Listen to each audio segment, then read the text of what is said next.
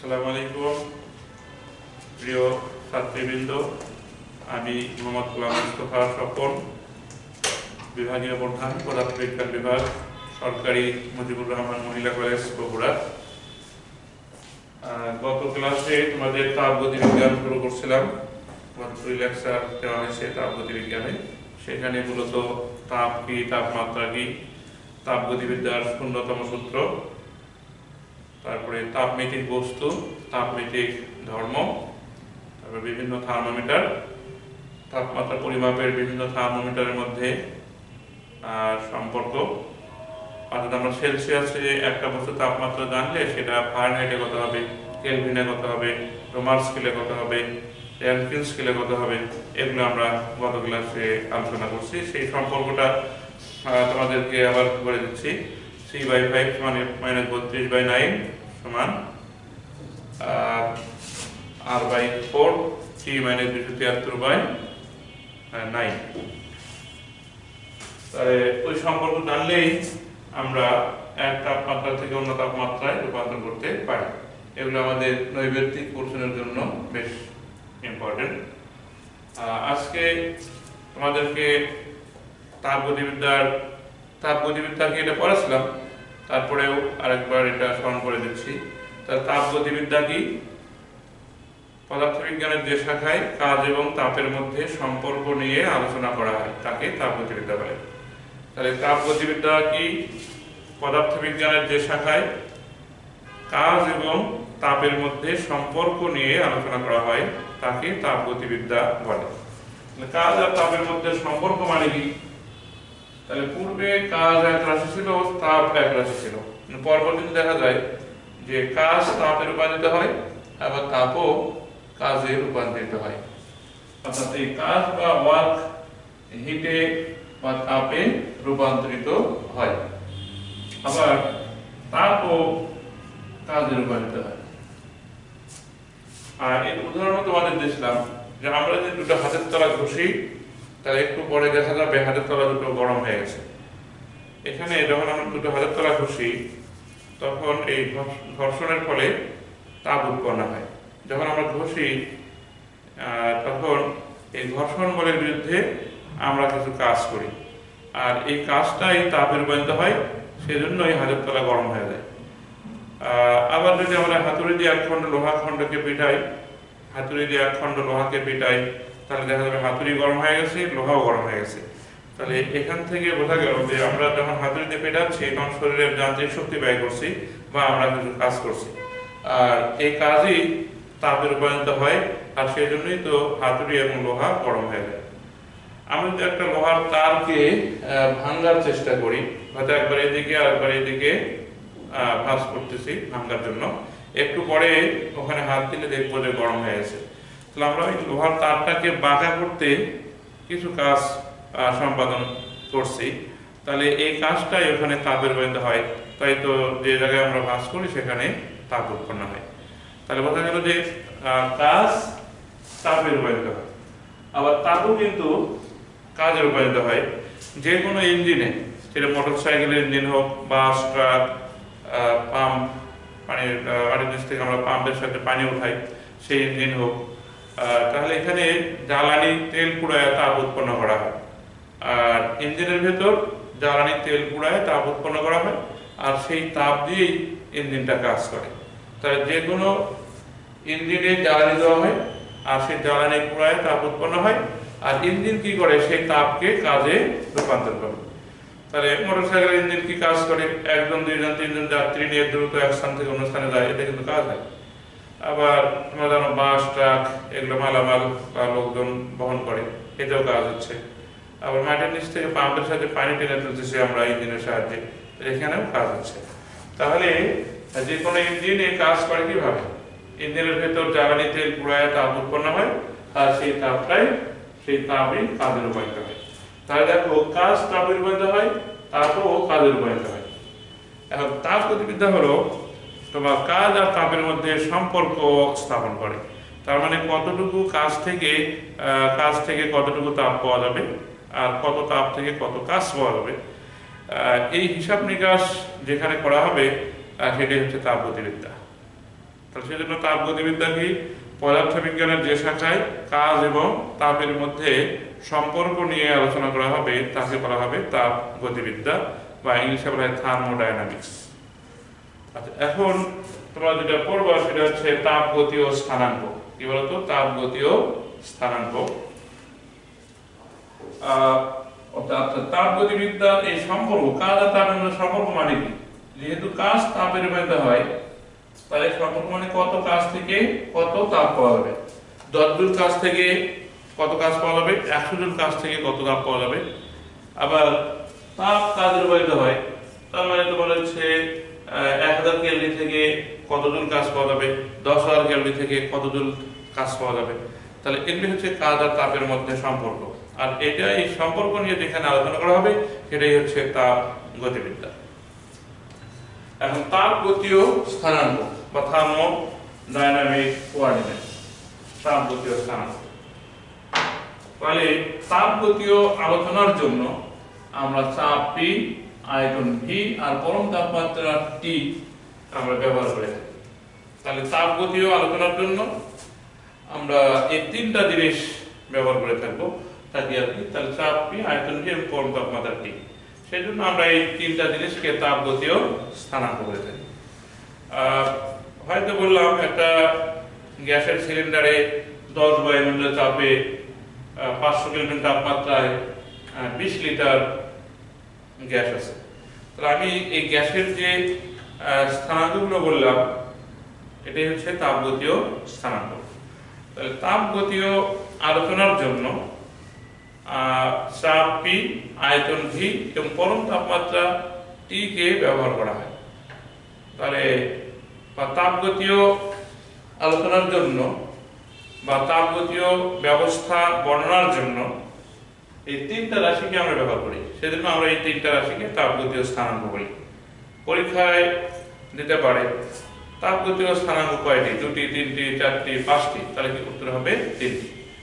আবার হয়তো দিল, নিম্নের কোনটি তাপগতীয় স্থানাঙ্ক? এই তিনটার ভিতরে একটা দিল আর বাকি তিনটা অন্য জিনিস দিল, তাহলে তোমাকে খুঁজে বের করতে হবে। আবার বহুমাত্রিকে দিতে পারে নিম্নের কোনটি তাপগতীয় স্থানাঙ্ক? এক নম্বর দিল চাপ দুই নম্বর দিল আয়তন, তিন নম্বর দিল পরম তাপমাত্রা। তাহলে আমাদের উত্তর হবে এক, দুই এবং তিন। তিনটা উত্তর হবে। আচ্ছা এখন তাপগতীয় ব্যবস্থা, তাপগতীয় স্থানাঙ্ক গেল এবার তাপগতীয় ব্যবস্থা। তাহলে করবা আমরা জানি চাপ পি, আয়তন, ভি এবং পরম তাপমাত্রা, টি দ্বারা তাপগতীয় এই তিনটা জানি চাপ পি, আয়তন, ভি এবং পরম তাপমাত্রা, টি কে তাপগতীয় স্থানাঙ্ক বলে। তাহলে এই তিনটা তাপগতীয় স্থানাঙ্ক দ্বারা যে অবস্থা বর্ণনা করা হয়, এই তিনটি তাপগতীয় স্থানাঙ্ক দ্বারা যে অবস্থা বর্ণনা করা হয়, তাকেই বলে তাপগতীয় অবস্থা। তাহলে আমরা যদি বলি যে আমরা যদি গ্রামে একটা লোকের বাড়ি হয়, তাহলে আমরা তার অবস্থা বোঝাই কি কি দিয়ে? তার কয় বিঘা জমি আছে, বাড়িঘর কীরকম, কয়টা দিঘি আছে কয়টা গরু আছে, কয়টা মহিষ আছে, কয়টা চাকর বাগর আছে। এগুলো দিয়ে আমরা তার আর্থিক অবস্থাকে বুঝাই। আবার যদি একজন লোকের বাড়ি শহরে হয় তাহলে আমরা আর্থিক অবস্থা গরু মহিষ চাকর বাকর এগুলো বুঝাই না। আমরা তখন বোঝাই যে ওই লোকটা আহ, কি ব্যবসা করে বা কত টাকার ব্যবসা মানে কত- টাকার ব্যবসা করে কি চাকরি করে কয়টা বাড়ি আছে মানে ইত্যাদি দিয়ে আমরা শহরে একটা লোকের অবস্থাকে আর্থিক অবস্থাকে বোঝায় থাকি। তদ্রূপ হচ্ছে পদার্থবিজ্ঞানে তাপগতীয় অবস্থা বোঝাতে আমরা এই তিনটা রাশি ব্যবহার করে থাকি। তো এই তিনটা রাশি দিয়ে চাপ, আয়তন এবং পরম তাপমাত্রা, এই তিনটা রাশি দিয়ে আমরা যে অবস্থাকে বর্ণনা করব, সেই অবস্থাই হচ্ছে তাপগতীয় অবস্থা। হয়তো বললাম একটা সিলিন্ডারে দশ বায়ুমণ্ডল চাপে পাঁচশো কেলভিন তাপমাত্রায় বিশ লিটার গ্যাস আছে। তাহলে ওই সিলিন্ডারে যে গ্যাস আছে, আমি এই জিনিসগুলো দিয়ে ওই গ্যাসের তাপগতীয় অবস্থাকে বোঝালাম। আচ্ছা এখন তাপগতীয় অবস্থা গেল। এখন তোমরা যে জিনিসটা করবা সিস্টেম বা নমুনা। আচ্ছা বলো তো আমরা যদি কোনো কিছুকে পরীক্ষা নিরীক্ষা করি, তাহলে আমরা ওই জিনিসের পুরাটাই নেব না। ও সামান্য কিছু নিয়ে পরীক্ষা করলেই চলে। তাহলে পরীক্ষা নিরীক্ষার জন্য আমরা জড়জগতের খুব সামান্য অংশকে নিয়ে থাকি। তাহলে পরীক্ষা নিরীক্ষার জন্য আমরা কি করে থাকি? জড় জগতের খুব সামান্য অংশকে বিবেচনা করে থাকি। তাহলে পরীক্ষা নিরীক্ষার জন্য আমরা জড় জগতের যে সামান্য অংশ নিয়ে থাকি, এই সামান্য অংশকেই বলা হয় সিস্টেম বা নমুনা। তাহলে সিস্টেম বা নমুনা সিস্টেম কি? তাহলে বা পরীক্ষা নিরীক্ষার জন্য আমরা জড় জগতের খুব সামান্য অংশ নিয়ে থাকি। এই সামান্য অংশকে সিস্টেম বলা হয়। আর কোনো সিস্টেম যদি বেষ্টনী দ্বারা পরিবেশ থেকে আলাদা থাকে, পৃথক থাকে, তাহলে সেই সিস্টেমকে বলা হবে তাপগতীয় সিস্টেম আমি যদি বলি যে ডাক্তাররা রক্ত পরীক্ষার জন্য একটা ছেলাইলে কয়েক ফোঁটা রক্ত নেয়। কারও শরীরের রক্ত যদি পরীক্ষা করতে হয় ব্লাড টেস্ট করতে হয়, তাহলে কি তার শরীরের সব রক্ত বের করতে হবে? না। এই মাত্র কয়েক সিসি রক্ত বের করে টেস্ট টিউবে আর পরীক্ষা করার সময় ওখান থেকে মাত্র কয়েক ফোঁটা, এক ফোঁটা বা দুই ফোঁটা রক্ত ব্যবহার করে। আর ওটা পরীক্ষা করলে ওই রোগের রক্ত সম্পর্কে যাবতীয় ধারণা পাওয়া যায়। তারপর যে কোনো জিনিস যদি আমরা পরীক্ষা নিরীক্ষা করি, তাহলে আমাদের পুরো জিনিস নেওয়া দরকার নাই, তার সামান্য অংশ নিলেই চলবে। তাহলে পরীক্ষা নিরীক্ষার জন্য আমরা জড় জগতের খুব সামান্য অংশকে নিয়ে থাকি। এটাকে বলে সিস্টেম। আর কোন সিস্টেম যদি বেষ্টনী দ্বারা পরিবেশ থেকে আলাদা হয়, তাহলে ওই সিস্টেম কি বলে? তাপগতীয় সিস্টেম উদাহরণস্বরূপ একটা ইঞ্জিন যখন চলে, তখন বায়ুমণ্ডল থেকে কিছু গ্যাস টেনে নেয়। তাহলে ধাপে ধাপে এটা গ্যাস টেনে নেয়। তাহলে ওটা যখন বায়ুমণ্ডল থেকে গ্যাস টানে, তখন কি বায়ুমণ্ডলের সব গ্যাসই টেনে নেয়? না, খুব সামান্য। আর এই গ্যাসটুকু কিন্তু বেষ্টনী দ্বারা আবদ্ধ থাকে। টেনে নেওয়ার পর চতুর্দিকে একটা শক্ত আবদ্ধ থাকে, তারপর পিস্টন চাপ দিয়ে ওটাকে সংকুচিত করে, তাপমাত্রা বেড়ে যায়। আর ওর মধ্যে জ্বালানি তেল গেলে একটা বিস্ফোরণ ঘটে, আর সেই বিস্ফোরণের শব্দ শক্তিতেই ইঞ্জিনের চাকা যা হোক, তাহলে একটা ইঞ্জিন যখন চলে, তাহলে পরিবেশ থেকে কিছু বাতাসও টেনে নেয়। তাহলে পরিবেশের সব বাতাস টেনে নেয় সামান্য অংশ। আর ওই যে বাতাসটুকু টেনে নিল, ওটা কিন্তু বেষ্টনী দ্বারা আবদ্ধ থাকে। সেজন্য ওই গ্যাসটুকুকে আমরা বাতাসটুকুকে আমরা বলব তাপগতীয় সিস্টেম আচ্ছা এবার তোমরা যে জিনিসটা পড়বা, সেটা হচ্ছে তোমার অভ্যন্তরীণ শক্তি বা অন্তস্থ শক্তি বা ইন্টারনাল এনার্জি বলতে আমরা কি বলছি? তাহলে অভ্যন্তরীণ শক্তি বা অন্তস্থ শক্তি বা ইন্টারনাল এনার্জি তাহলে অভ্যন্তরীণ শক্তি কি? তাহলে বলবা প্রথম, প্রত্যেক সিস্টেমের মধ্যে কিছু পরিমাণ শক্তি সুপ্ত অবস্থায় থাকে। সুপ্ত মানে কি? লুকায়িত। তাহলে প্রত্যেক সিস্টেমের মধ্যে কিছু পরিমাণ শক্তি সুপ্ত অবস্থায় থাকে। পরিবেশ এবং পরিস্থিতিতে এই শক্তি অতি সহজেই অন্য শক্তিতে রূপান্তরিত হতে পারে। তাহলে বস্তুর মধ্যে সুপ্ত অবস্থায় থাকা এই শক্তিকে বলে অভ্যন্তরীণ শক্তি বা অন্তস্থ শক্তি বা অন্তর্নিহিত শক্তি। তাহলে অভ্যন্তরীণ শক্তি বা অন্তস্থ শক্তি বা অন্তর্নিহিত শক্তি বলতে আমরা কি বুঝি? বা ইন্টারনাল এনার্জি বলতে আমরা কি বুঝি? তাহলে প্রত্যেক সিস্টেমের মধ্যে কিছু পরিমাণ শক্তি সুপ্ত অবস্থায় থাকে। আর এই শক্তিকেই অভ্যন্তরীণ শক্তি বলে, বা অন্তস্থ শক্তি বলে, বা অন্তর্নিহিত শক্তি বলে। এইটুকু লিখলে হবে। তবে যদি ভালো করে লিখতে চাও, তাহলে বলতে হবে প্রত্যেক সিস্টেমের মধ্যে কিছু কিছু পরিমাণ শক্তি সুপ্ত অবস্থায় থাকে এবং পরিবেশ ও পরিস্থিতিতে এই শক্তি অতি সহজেই অন্য শক্তিতে রূপান্তরিত হয়। আর বস্তুর মধ্যে সুপ্ত অবস্থায় থাকা এই শক্তিকে বলা হবে অভ্যন্তরীণ শক্তি বা অন্তস্থ শক্তি বা অন্তর্নিহিত শক্তি। আচ্ছা তোমরা যদি একটা দোকান থেকে কিছু জ্বালানি তেল ক্রয় করো একটা পাম্প থেকে এক লিটার পেট্রোল কিনলে। তাহলে ওই পেট্রোল দেখে কি মনে হয় ওর মধ্যে কোনো শক্তি আছে? মনে হয় না। মনে হয় এটা একটা তরল, ওর মধ্যে কোনো শক্তি আছে, এটা কিন্তু আমাদের কাছে মনে হয় না। তবে ওই পেট্রোল যদি একটা মোটর সাইকেলে ওঠানো যায়, তারপরে মোটর সাইকেল ইঞ্জিন চালু করা যায়, তাহলে ওই পেট্রোলের মধ্যে যে অভ্যন্তরীণ শক্তি আছে, লুকায়িত শক্তি, তাহলে ওটাকে দহন প্রক্রিয়ায় ওই অভ্যন্তরীণ শক্তিটা ইঞ্জিনের মধ্যে তাপ শক্তিতে রূপান্তরিত হয়। তারপরে ইঞ্জিন সেই তাপ শক্তিকে যান্ত্রিক শক্তিতে রূপান্তর করে। আমরা যদি কিছু জ্বালানি কাঠ দেখি, তাহলে কাঠ দেখেও কিন্তু মনে হয় না যে এর মধ্যে কোনো শক্তি আছে। যদি ওটাতে আগুন ধরে দাও, তাহলে ওই কাঠটা পুড়ে ছাই হয়ে যাবে। আর কাঠের ভিতর যে শক্তিটা ছিল, শক্তি তো আর ধ্বংস নয়, সেই কাঠের ভিতর অভ্যন্তরীণ শক্তি লুকানো ছিল, আর সেই শক্তিটা তাপ শক্তিতে রূপান্তরিত হবে। আমরা যে খাবার খাই, ভাত বা রুটি যেটাই আমরা খাই, ওদের মধ্যেও শক্তি লুকায়িত আছে। যখন আমরা ওটা খাব, তখন ওই আমাদের পেটের ভেতর দহন প্রক্রিয়ায় ওর অভ্যন্তরীণ শক্তিটা তাপ শক্তিতে রূপান্তরিত হয় আর সেই তাপ শক্তি রক্তের মাধ্যমে আমাদের পুরা শরীরের কোষে কোষে পৌঁছে যায়, যার জন্য আমরা শক্তি পাই। যাই হোক, তাহলে এভাবে চিন্তা করলে প্রত্যেক বস্তুর মধ্যেই কিছু না কিছু শক্তি লুকায়িত আছে।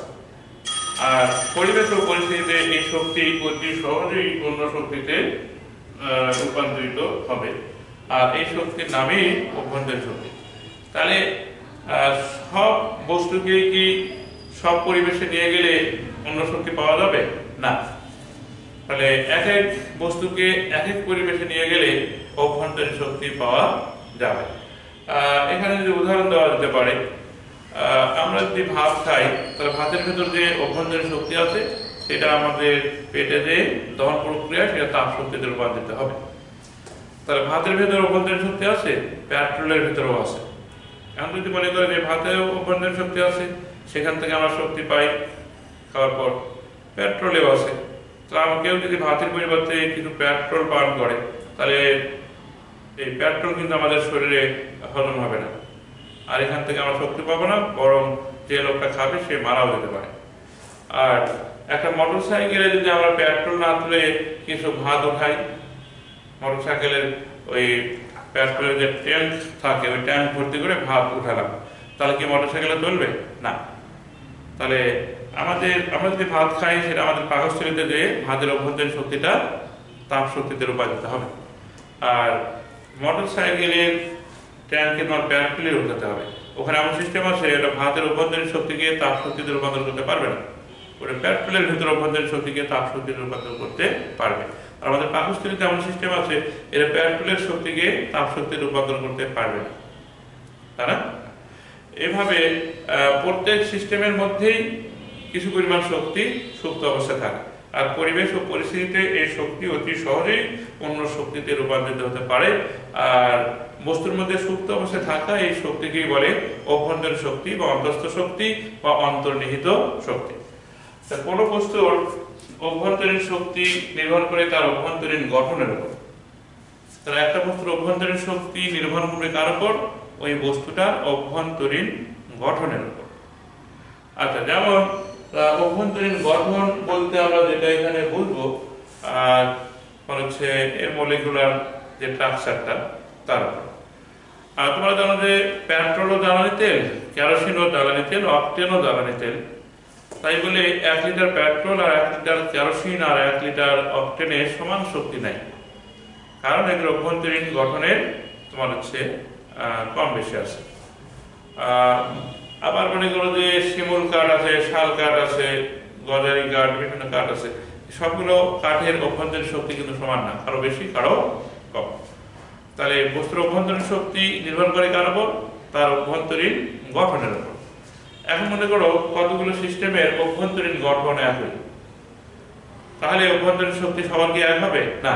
তখন নির্ভর করবে তোমার তাপ গতি ও স্থানাঙ্কের উপর চাপ আয়তন আর কম তাপমাত্রার উপর। আমরা যে গ্যাসে রান্না করি তার নাম মিথেন গ্যাস তাহলে ধরো দুটো সিলিন্ডার ভর্তি মিথেন গ্যাস আছে। দুটোতে মিথেন গ্যাস, তার মানে গ্যাসের অভ্যন্তরীণ গঠন এক। তাই বলে দুই সিলিন্ডারের মিথেন গ্যাসের অভ্যন্তরীণ শক্তি সমান নাও হতে পারে। তাহলে অভ্যন্তরীণ ঘটনায় তাহলে অভ্যন্তরীণ শক্তি নির্ভর করবে তোমার চাপ, আয়তন আর গরম তাপমাত্রা। তাহলে উদাহরণস্বরূপ যে সিস্টেমের চাপ বেশি, তার অভ্যন্তরীণ শক্তি বেশি হবে। যে সিস্টেমের আয়তন বেশি, তার অভ্যন্তরীণ শক্তি বেশি হবে।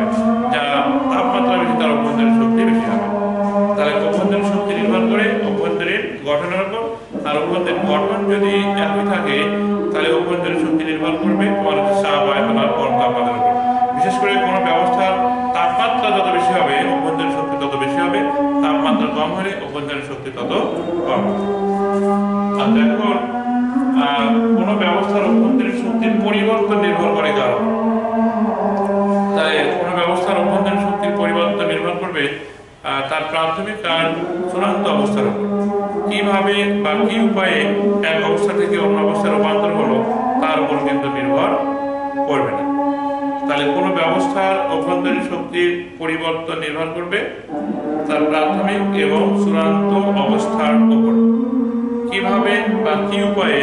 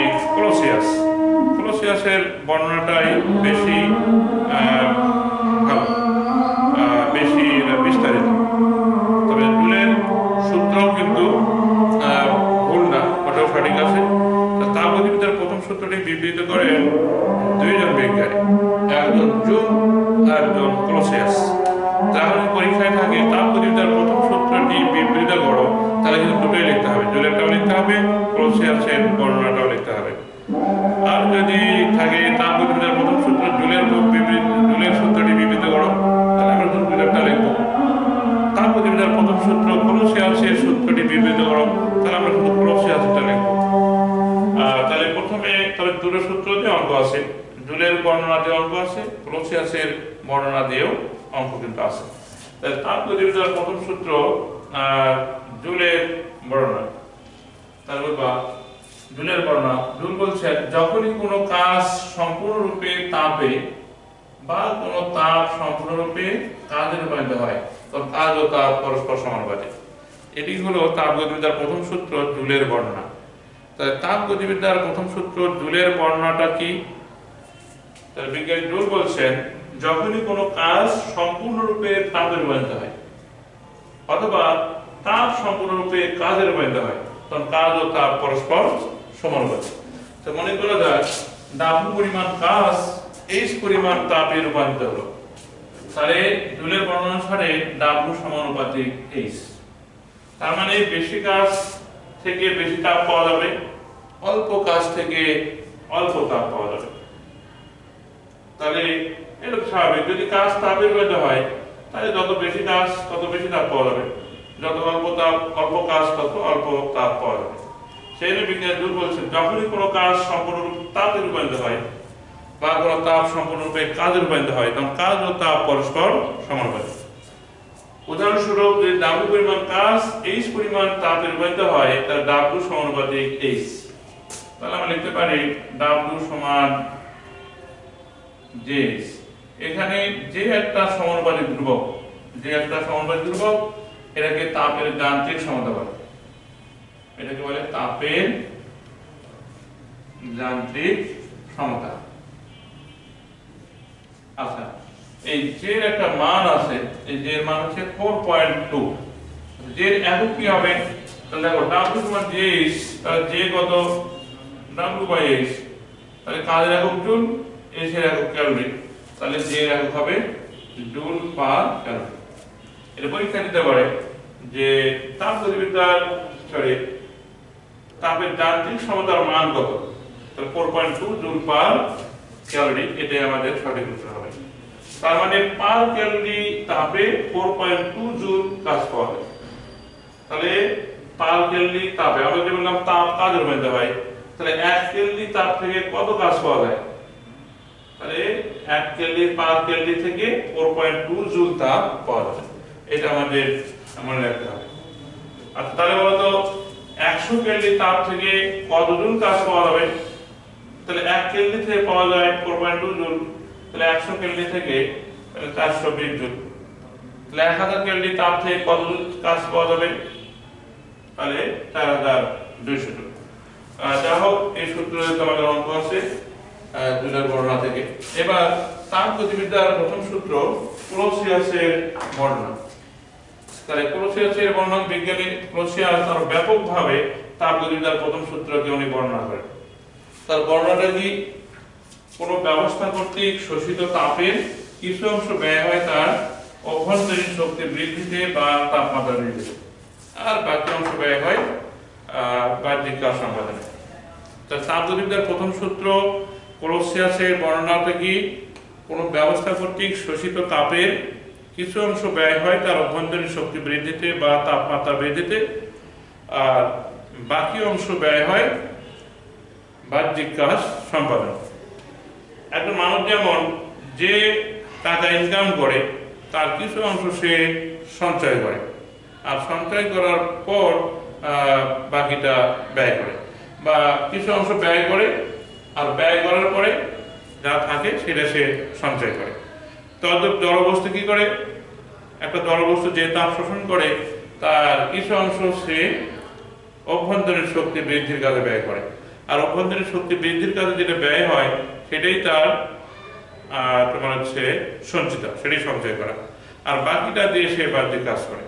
তাহলে তাপ গতিবিদ্যার প্রথম সূত্র, জুলের বর্ণনাটা তাহলে কি? কোনো ব্যবস্থা কর্তৃক শোষিত তাপের কিছু অংশ ব্যয় হয়, তার অভ্যন্তরীণ শক্তি বৃদ্ধিতে বা তাপমাত্রা বৃদ্ধিতে, আর বাকিটা ব্যয় হয় তার বাহ্যিক কাজ সম্পাদনে। উদাহরণস্বরূপ একটা ব্যবস্থা মনে করো ডিকিউ পরিমাণ তাপ শোষণ করল করে তার মধ্যে থেকে ডিউ পরিমাণ দিয়ে তার অভ্যন্তরীণ শক্তি বাড়ালো, বা তাপমাত্রা বাড়ালো, আর ডি ডাব্লিউ পরিমাণ দিয়ে সে বাহ্যিক কাজ করল।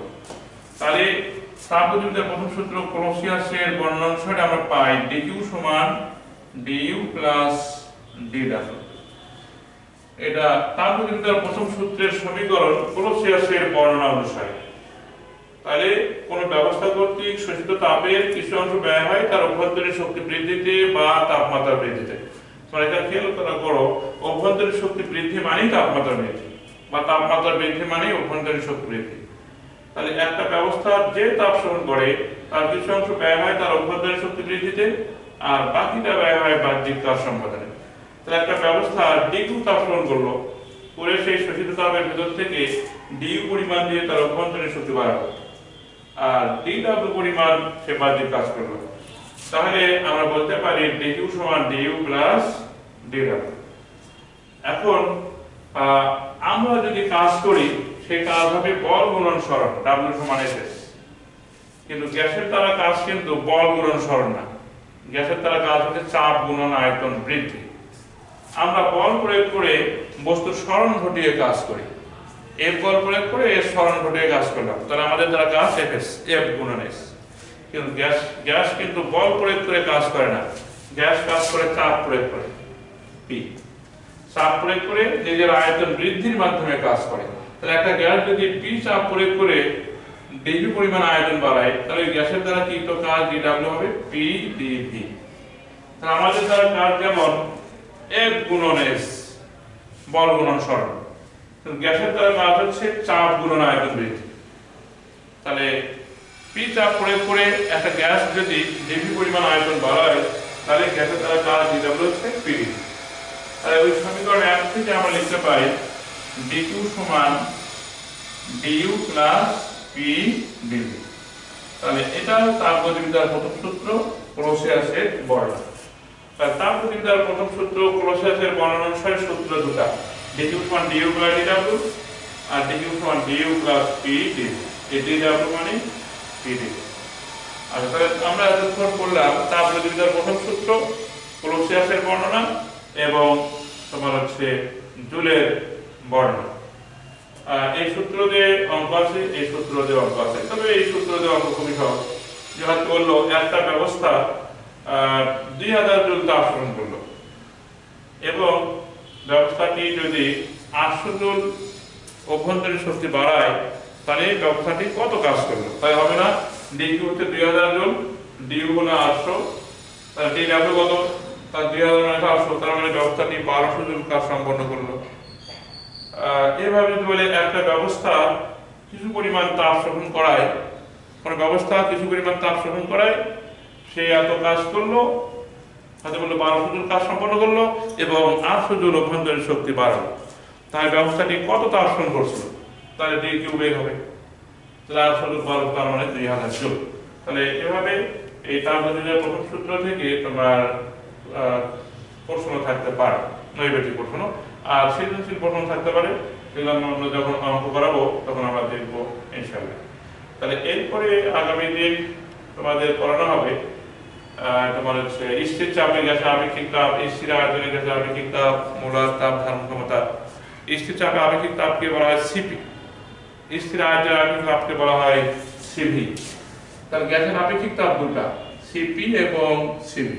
এটা স্থির চাপে আপেক্ষিক তাপ এটা স্থির আয়তনে আপেক্ষিক তাপ আমরা আগামী দিনে এই সিপি এবং সিভি কি এগুলো পড়ব।